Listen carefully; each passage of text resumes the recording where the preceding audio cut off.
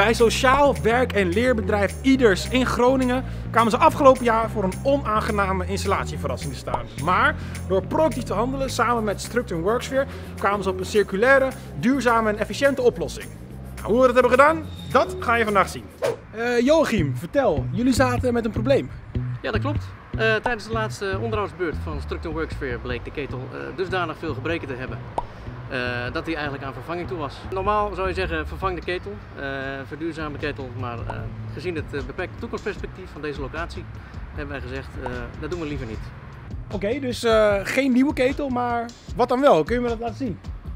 Zeker. Kom maar mee.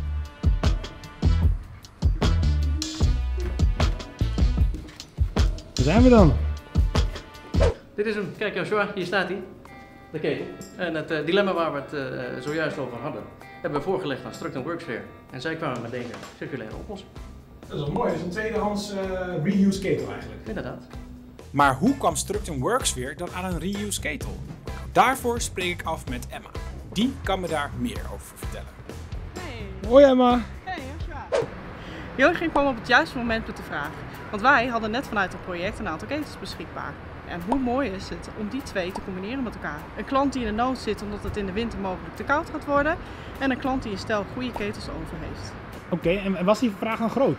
Ja, ontzettend groot. Ik heb in één week tijd nog nooit zoveel belletjes gehad van, eh, van opdrachtgevers die eigenlijk belangstelling hadden voor deze, ja, voor deze ketels. Oké, maar hoe vind je dan de juiste match uh, voor zo'n ketel bij de juiste plek om te plaatsen? Ja, het is natuurlijk niet 1, 2, 3 zo simpel om zo'n ketel een nieuwe plek te kunnen geven. Er zitten een aantal technische randvoorwaarden uh, aan vast. En daar hebben we wel de match kunnen maken met ieders. Dan gaan we naar uh, ons kantoor in Groningen. Dan ga ik je voorstellen aan mijn collega Ari, want hij heeft dit uh, project gerealiseerd. Nou, let's go. Yes.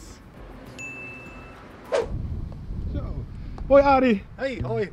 Ari, wat Emma net vertelde, dat klinkt als best een goede oplossing. Maar waarom gebeurt het dan niet vaker? Ja, nee, de match moet inderdaad plaatsvinden. En uh, in dit geval kwamen de ketels in het voorjaar beschikbaar. Dus ja, dan moet je eerst tijdelijk opslag organiseren. En dat is best wel lastig. Uiteindelijk uh, hebben we ze meegenomen naar huis. Uh, ik heb thuis een uh, paardenstal. Zo. Daar hebben we ze opgeslagen. Dat klinkt best als een out-of-the-box idee. Ja, ja absoluut. je moet creatief zijn. Hè? je moet oplossingen bedenken en je moet het willen. Nou, en dan is er altijd een oplossing te vinden om iets weer circulair in te zetten. En zo hebben we dat vaker gedaan met loophandelskasten bijvoorbeeld. Oké, maar dit was eenmalig. Maar heeft, smaakt dit nou naar meer, deze oplossing?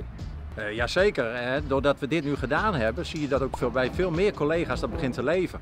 En we kregen van de week ook weer een vraag van, uh, goh, heb je nog drie ketels? Nou, toevallig, wij zijn weer met een pand bezig wat we gaan uh, renoveren. En dat wordt volledig duurzaam gemaakt. En ja, gaan de bestaande ketels zijn over. Ja, wellicht gaan we die weer inzetten. Dus we hebben weer veel meer draagvlak gecreëerd en dat gaat nu echt rollen. Super tof om te zien dat beide partijen zo proactief met circulair installeren omgaan en dat het nog navolging krijgt. Nou, wil jij meer weten over circulair installeren? Kijk dan op deze website.